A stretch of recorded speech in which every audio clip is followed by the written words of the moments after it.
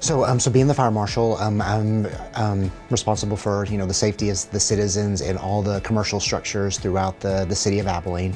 Uh, we do the plan reviews for um, for building construction, make sure you know the exits and occupancies and all that type stuff are, are met.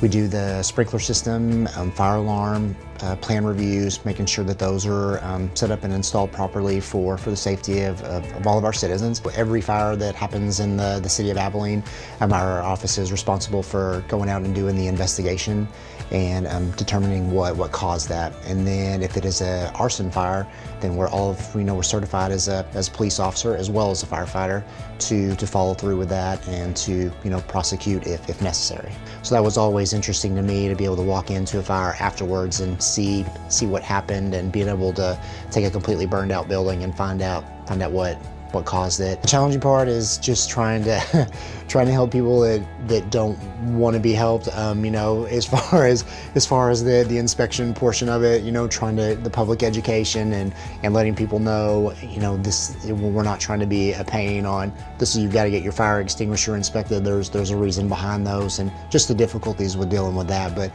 most of the time, after after education and talking to them, they understand. But a lot of times that can be difficult.